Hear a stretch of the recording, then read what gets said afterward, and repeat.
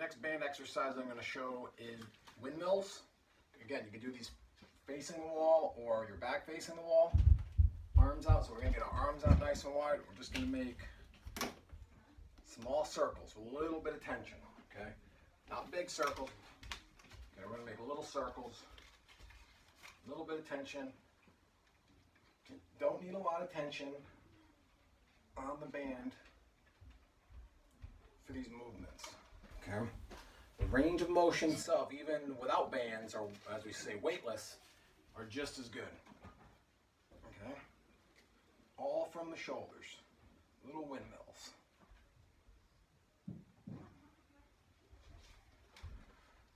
Whew, and those are the windmills.